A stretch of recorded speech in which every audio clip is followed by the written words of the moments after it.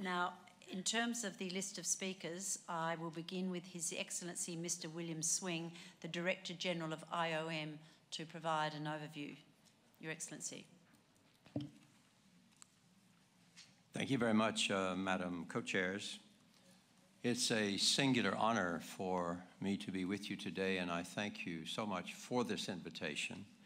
Uh, this is the sixth ministerial conference, and I've had the honor since taking this position in 2008 to attend all four of the ones in my time. Uh, it's a uh, good to see you maintaining your regular schedule, more or less, of every two years as a ministerial let me congratulate the co-chairs uh, for organizing this conference precisely at a time when migration has become a global issue and has become a mega trend of this uh, 21st century. Um, we have long held a thesis that large-scale migration is inevitable given the driving forces, the demographic deficit, the conflicts in the world, the digital revolution, distance shrinking technology, in other words, human mobility is there. We've also held the thesis that it is highly necessary if skills are to be available, jobs to be filled, and economies to flourish. And finally, it's highly desirable if we have the right policies. So we view migration less as a problem to be solved than that of a human reality that has to be managed. And that's what governments are all about. Um, let me just say that um, we're living in an era of unprecedented human mobility, and much of it un is unfortunately unprecedented forced migration. We're a period of unprecedented humanitarian crises and conflicts from the western bulge of Africa to the Himalayas with very few stable and bright spots in between. Apart from the Syrian negotiations, which we must devoutly hope and pray will succeed, there are at present no other viable political processes or active negotiations that offer us any hope of resolving any of these in the short to medium term. There is a dearth of political leadership on migration questions there has been a serious erosion of international moral authority, and there is a growing and widespread anti migrant sentiment, anti migrant policies afoot in the world today. More and more people are dying for reasons that are simply not acceptable.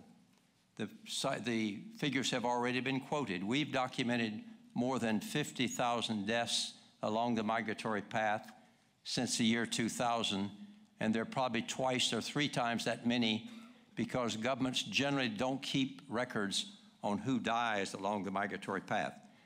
So my first point is simply to say there are these global migration trends that we're going to have to deal with. It's been dealt with already in the opening statements by uh, the, the honorable chairs. It is not, however, uh, a pessimistic moment. The international community is engaged. We had major conferences last year. The Sendai Declaration on Disaster Risk Reduction. We had the conference in Addis on financing uh, humanitarian development. We had the Sustainable Development Goals, the 2030 Agenda in October in New York. And we had finally the UNFCCC declaration out of Paris on climate change, which included references to population displacement and migration.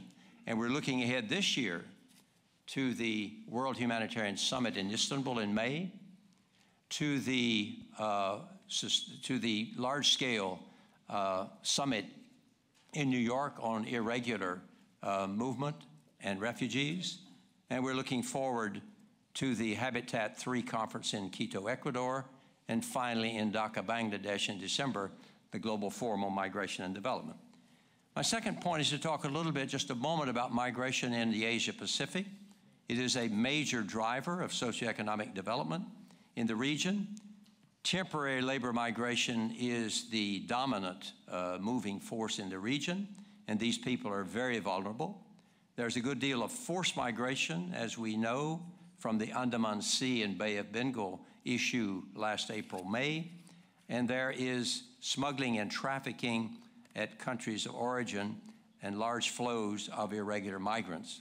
And there are, of course, there's a hope because we have the Bali process and 17 other regional consultative processes around the world. And I want to commend you for the declaration, the first ever in the 14 years of the Bali process. It's an excellent declaration.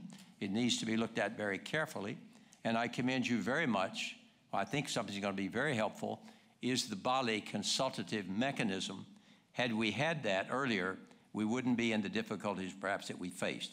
Final point is simply to say there is a high road scenario that will take us there, and we need to look at a broader, more comprehensive approach to smuggling because we may be doing things in some of our migration policies that actually end up subsidizing the smuggling trade.